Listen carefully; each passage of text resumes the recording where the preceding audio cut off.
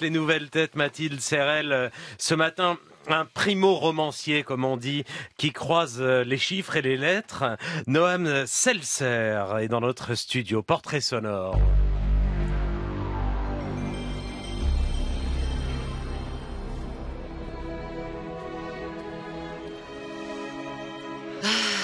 Le son de la PlayStation quand elle s'allume, les premières notes du jeu vidéo Final Fantasy VII sorti en 1997 et tout l'univers graphique du jeu, voilà autant de variables aléatoires qui l'ont fortement déterminé dans ce qu'il est aujourd'hui.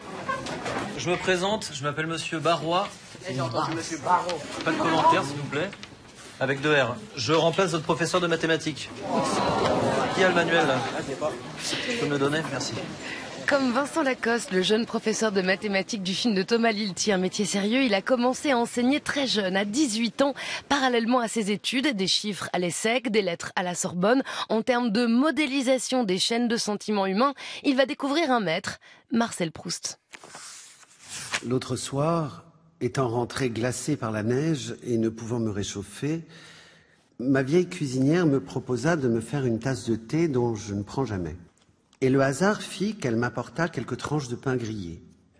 Je fis tremper le pain grillé dans la tasse de thé, et au moment où je mis le pain grillé dans ma bouche, et où j'eus la sensation de son amollissement contre mon palais, je ressentis un trouble, des odeurs de géranium, d'oranger, une sensation d'extraordinaire lumière, de bonheur, du côté de chez Swann, lu par Guillaume Gallienne, dans ce manuscrit où la fameuse Madeleine n'est encore qu'une tartine.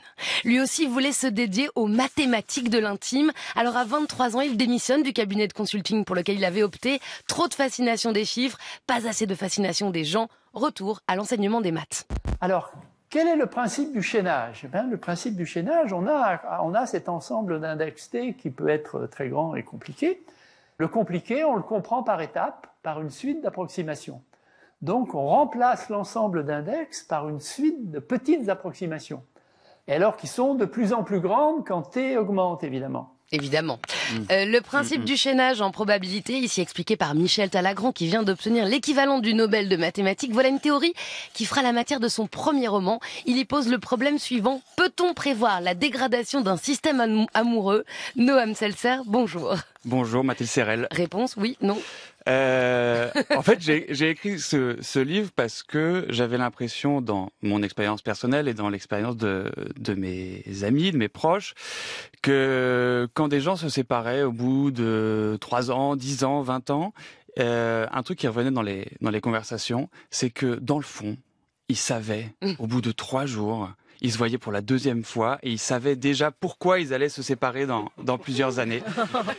Et en fait, c'est en partant de ça, c'est une chaîne de Markov. Ça, c'est une chaîne de Markov. C'est qu'en fait, dès le début, en regardant les caractéristiques du présent, c'est-à-dire euh, tellement vrai. Mmh, bah, les caractéristiques de, de deux personnes. On veut pas le voir. On veut pas le voir. Mais, on, le sait, tout de suite. On, sait pourquoi on va se séparer dans six mois. On sait quelle va être l'incompatibilité absolue des caractères qu'on cache pendant un an pendant six ans, mais que, euh, qui à la fin détruit le système.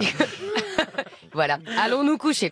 Alors vous avez 34 ans, vous venez de publier donc Les chaînes de Markov, votre premier roman chez Gallimard. Vous êtes toujours prof de maths. On va faire une petite remise à niveau. Vous nous redonnez donc bien la définition d'une chaîne de Markov, même si vous l'appliquez donc au sentiment amoureux. Une chaîne de Markov, c'est un arbre de probabilité. Pour faire simple, c'est-à-dire euh, les météorologues, par exemple, ils font des chaînes de Markov tous les jours.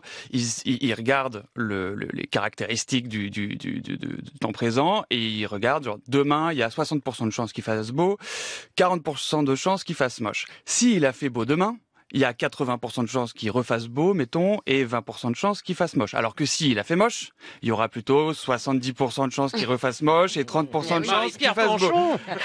Et en fait, jour, jour après jour, euh, ça fait une sorte d'immense arbre de probabilité que euh, vous pouvez pousser jusqu'à 3 jours ou jusqu'à beaucoup plus loin. Et c'est ça des chaînes euh, de Markov. Alors dans la chaîne de Markov, faut se concentrer sur les indices du présent. Donc, oui. il n'y a pas de passé. C'est ce qui fait pour votre narration en fait un sacré problème. En début de roman, il pense qu'il va pouvoir mettre en équation euh, la vie selon les chaînes de Markov. Alors par exemple, voilà comment s'organisent les fratries. Les caractères des aînés se construisent par accaparement de certains traits reconnaissables. Les plus jeunes se construisent en opposition et choisissent d'autres tempéraments. Si l'aîné prend l'amusement, le cadet deviendra sérieux. Si l'aîné prend le snobisme, le cadet choisira la camaraderie. La répartition de ces caractères se faisant très tôt, une chaîne de Markov bien construite rend prévisible toutes les rancœurs et toutes les jalousies et tous les conflits. C'est la Bible, ce livre. je ne sais pas si c'est la Bible, mais, mais quand on voit deux enfants de 7 et 9 ans, frères et sœurs, s'engueuler, on sait très bien pourquoi, quand ils auront 42 et 44 ans, ils, vont vont s'engueuler. ils vont s'engueuler et ne plus se parler pendant 10 ans.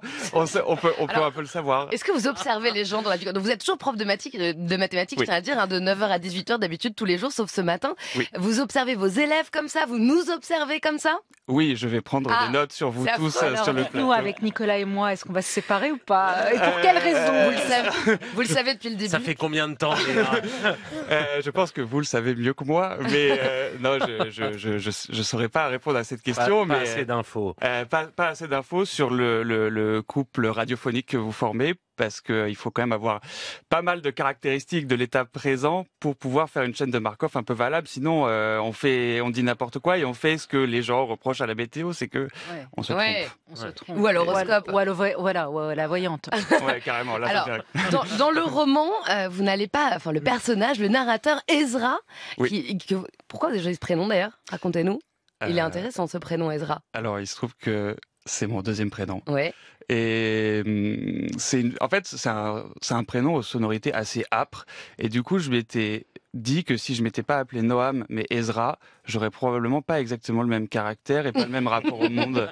Euh, si, on fait un peu, C'est si on vraiment. fait un peu une chaîne de Markov, si je m'étais appelé Ezra, qui est quand même plus guttural, plus un peu plus dur, euh, ma vie aurait été différente. C'est vraiment un prisme. Donc il y a Eve également, qui est donc euh, la petite amie d'Ezra, avec qui on ne sait pas si ça va durer. Il y a des indices que ça va finir en orage. Elle, elle vient d'une vieille noblesse catholique de Franche-Comté. Lui, il est fils de médecins juifs ashkénazes à Montpellier, qui sont touristes dans leur religion, écrit le narrateur.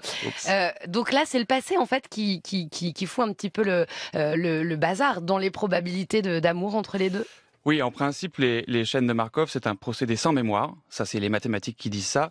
Mais en fait, les couples ne sont pas des procédés sans mémoire. Et pour le coup, et c'est un, une des pistes qui est explorée par le livre, c'est que euh, Ève et Ezra, donc Ève qui est catholique, Ezra qui est juif, euh, sont tous les deux plutôt en lutte avec leur passé catholique et juif, mais sont rattrapés par leur passé et deviennent à des moments des caricatures justement d'une catholique euh, aristocrate ou bourgeoise et euh, d'un juif athée, parce qu'on n'est pas sans mémoire dans un couple justement. Vous, vous avez brisé vos chaînes de Markov lorsque vous avez démissionné à 23 ans du Boston Consulting Group. Il y a Euh, une scène d'ailleurs où vous- euh, le narrateur est conseiller de François Hollande pour la SNCF. Euh, oui, j'ai un peu brisé mes chaînes de, de Markov. En fait, moi, j'avais rien contre euh, le monde de l'entreprise et le Boston Consulting Group et le et ces et ces choses-là, mais c'est juste que je je trouve pas ça. Enfin, je trouvais pas ça si intéressant que ça. J'y croyais pas trop, alors que la, la littérature et l'art, ça me paraît plus convaincant. Ça permet de ressusciter des heures mortes pour l'intelligence, comme dit Marcel Proust entre autres. Noam Oui. Seltzer, bravo pour ce premier roman, Les chaînes de Markov. Merci beaucoup. Ça donne envie. On va essayer de, de, de, de pas se séparer tout de suite. Bonne route, je vous le donne Léa.